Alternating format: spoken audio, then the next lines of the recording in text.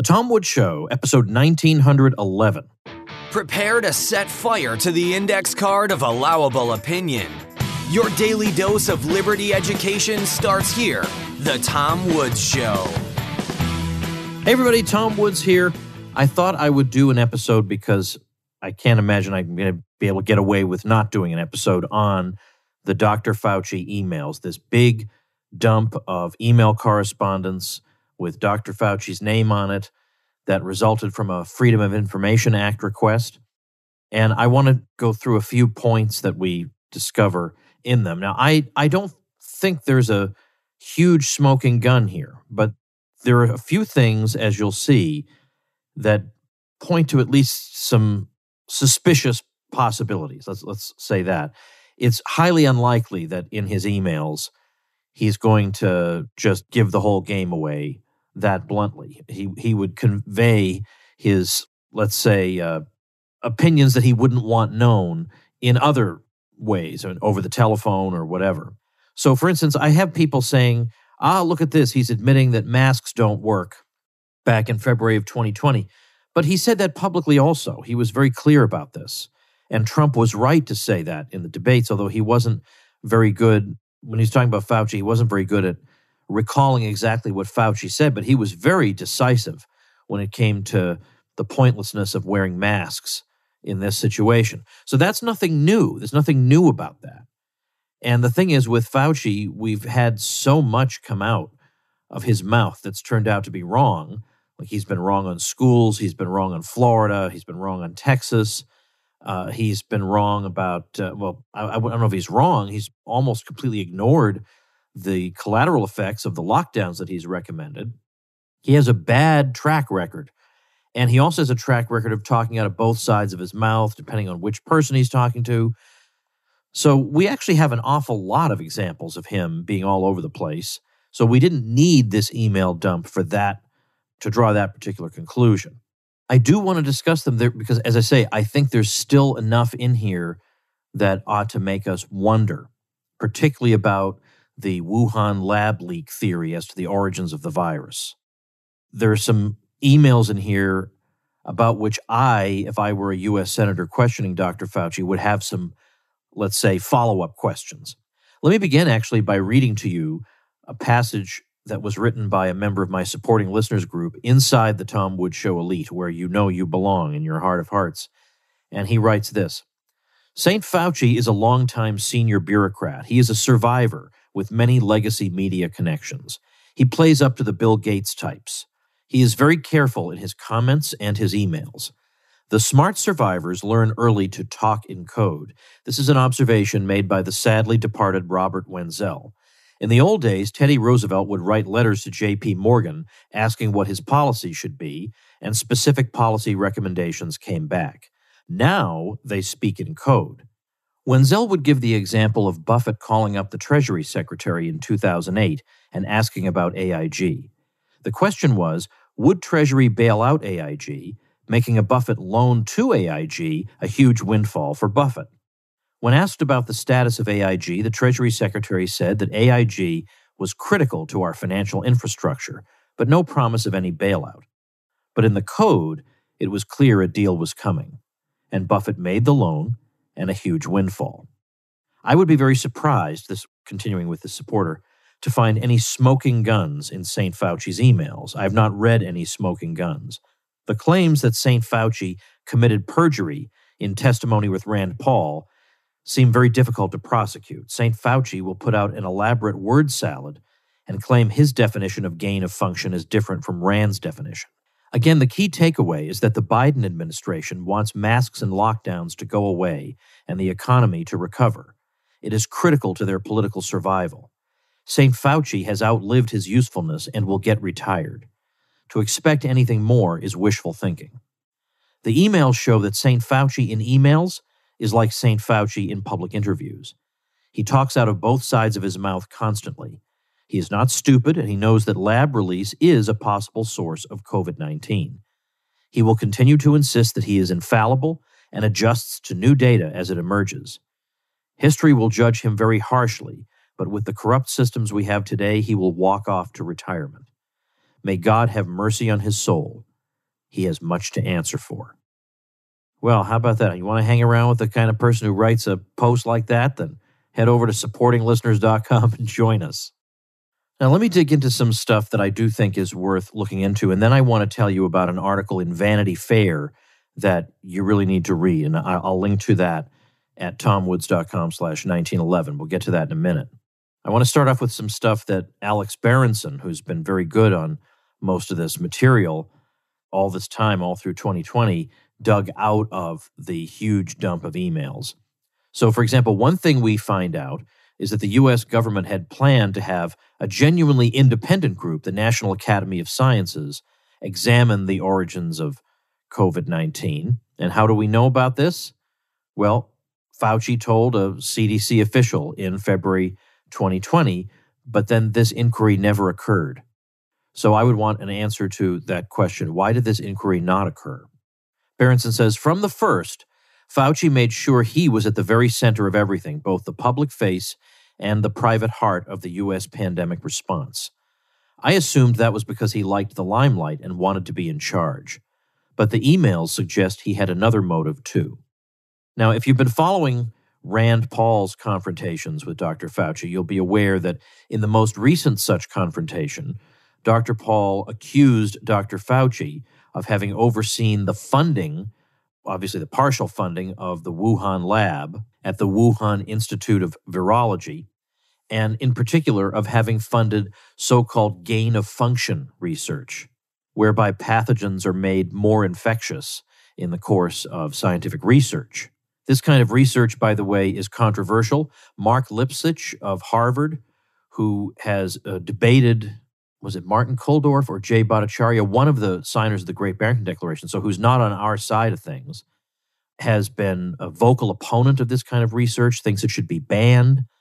Dr. Fauci has supported it, and it's clear that such research was indeed happening in that lab. Now, very early on, so, February 19th, 2020, The Lancet, which is one of the most respected medical journals in the world, published a statement in which over two dozen scientists said that we refuse to entertain the possibility of this virus being in some way man-made that this is a natural virus it has a it has a natural origin and we strongly condemn conspiracy theories to the contrary and they expressed solidarity with all scientists and health professionals in China. So, in other words, they're trying to make it seem as if you'd have to be xenophobic to think that this might have escaped from a Chinese lab. But of course, what, why would that make you xenophobic? Maybe there was an accident, which is what a lot of people think now. Not necessarily that it was deliberate, but that it was an accident. We have uh, numerous testimonies to the poor safety and security protocols there that initial letter to the Lancet really, really put a damper on people's efforts to look into the matter of the origin of the virus impartially. This really was meant to have a chilling effect on the freedom of expression and research. Well, it turns out that this Lancet statement was organized and signed by a fellow named Peter Daszak, who was a zoologist, who, according to Vanity Fair, has repackaged U.S. government grants and allocated them to facilities conducting gain of function research, among them the Wuhan Institute of Virology itself. We also learn in the Vanity Fair article that David Asher, who's now at the Hudson Institute, but who earlier ran the State Department's day to day COVID 19 origins inquiry, said that it soon became clear that, quote, there is a huge gain of function bureaucracy, unquote, inside the federal government. So we know that U.S. taxpayer dollars go to this lab. We know that for a time, U.S. taxpayer dollars were allowed to be used for gain of function research. Then, for a few years, that was they put an end to that. Then it was brought back. You could make exceptions to the rule, but first it had to be reviewed by a committee. But then some of it wasn't being reviewed by a committee. Well, why is that?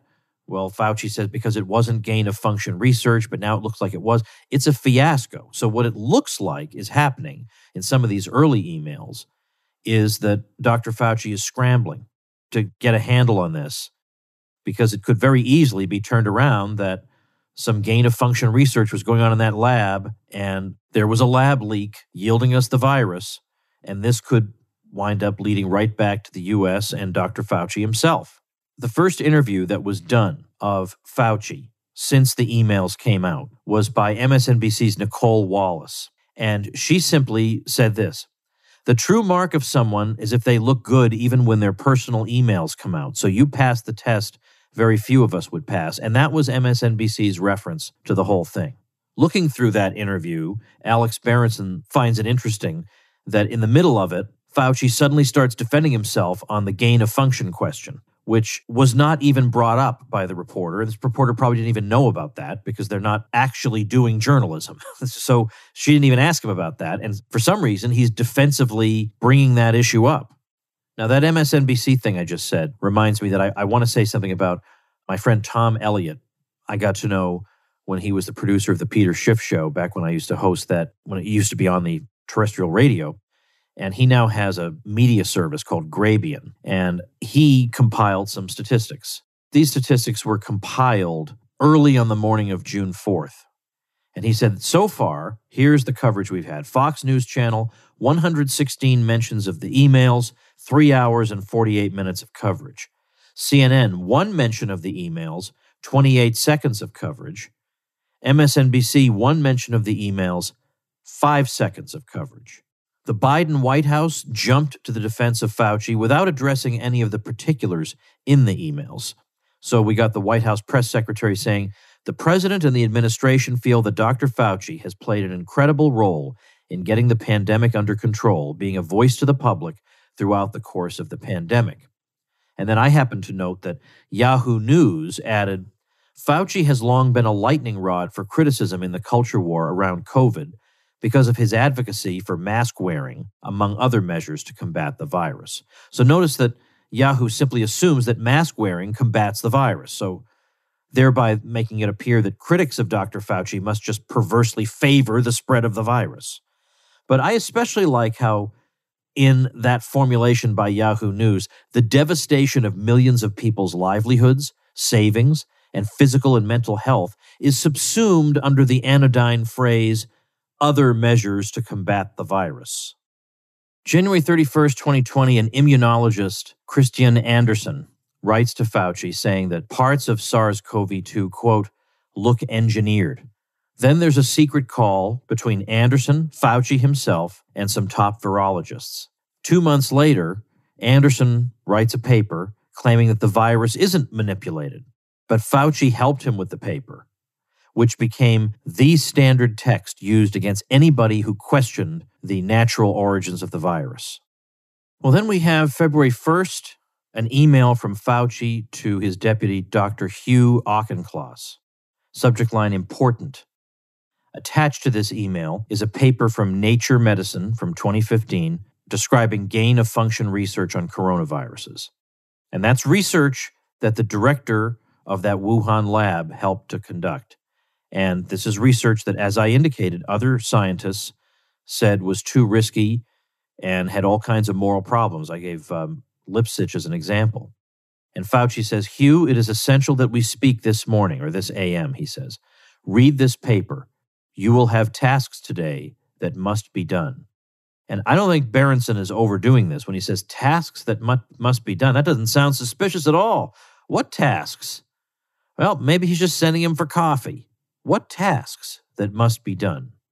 But we are definitely reading about a conference call held on very short notice with several of the world's top virologists for, quote, a discussion in total confidence, unquote, and then, quote, on a complex issue, unquote. Okay, maybe we want to know about this call. Hey, everybody, I want to take a minute to thank our sponsor, Merck Investments. I sense a lot of frustration among some of our folks that in our circles, we hear a lot of talk that there is always an imminent stock market crash. And then we just keep hearing this over and over and over. And sometimes that's right, but it's not always right. And our friends at Merck Research are trying to provide unbiased monthly analysis on the economy and stock market. And through a consistent set of easy to read charts and frameworks with written analysis, you'll get through these monthly reports an intellectually consistent view on the market and economy that is not just doom and gloom. So you can download the PDF chart books with analysis or watch the video voiceover walkthrough.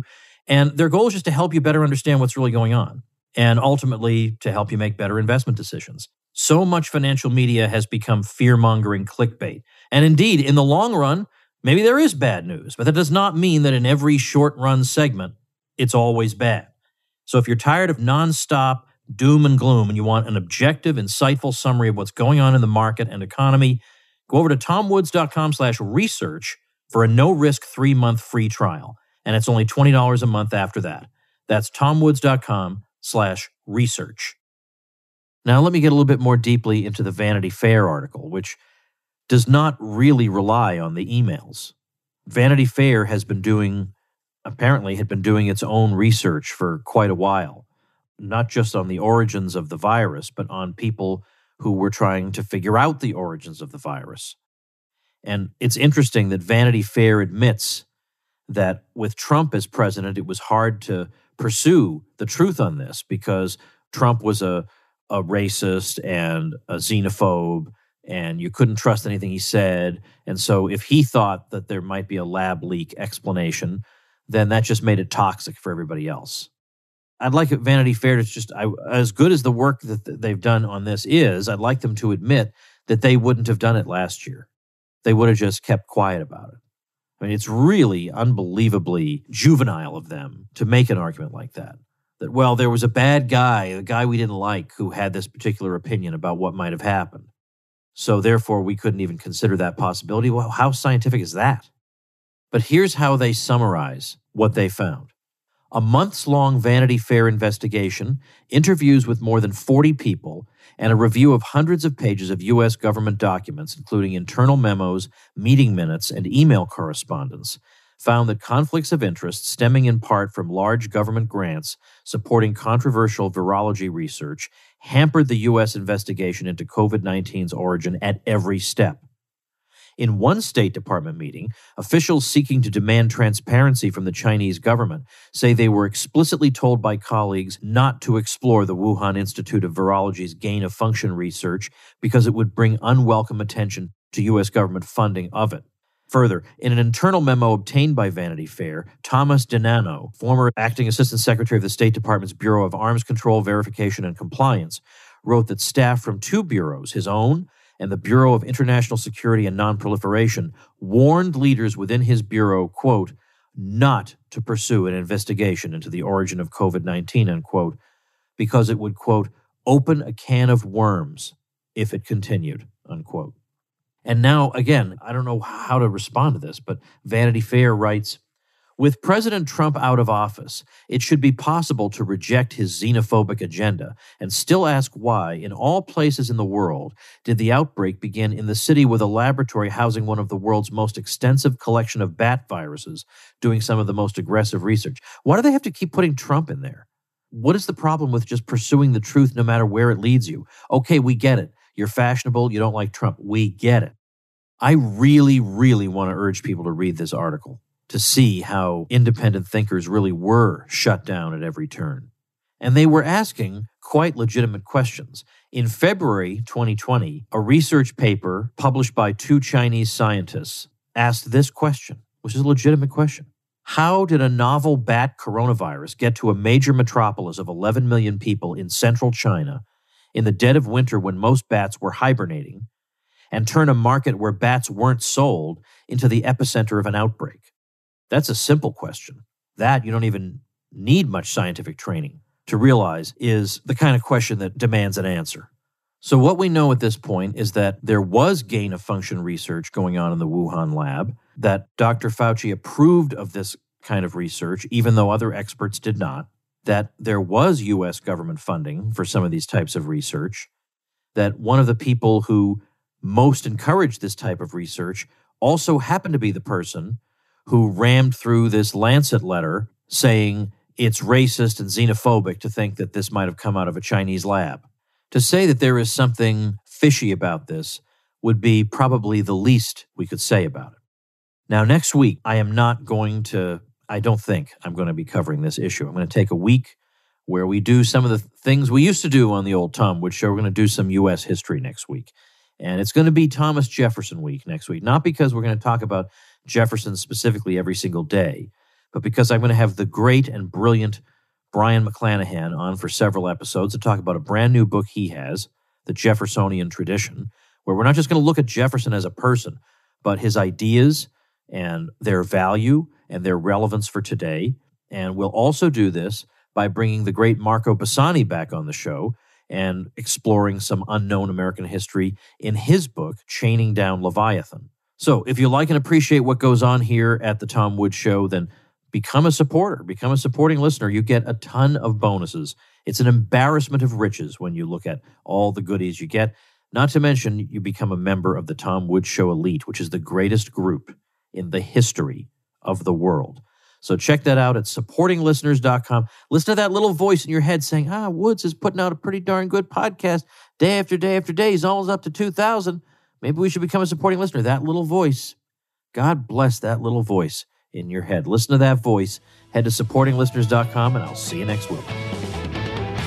Become a smarter libertarian in just 30 minutes a day. Visit tomwoods.com to subscribe to the show for free, and we'll see you next time. Like the sound of The Tom Woods Show? My audio production is provided by Podsworth Media. Check them out at podsworth.com.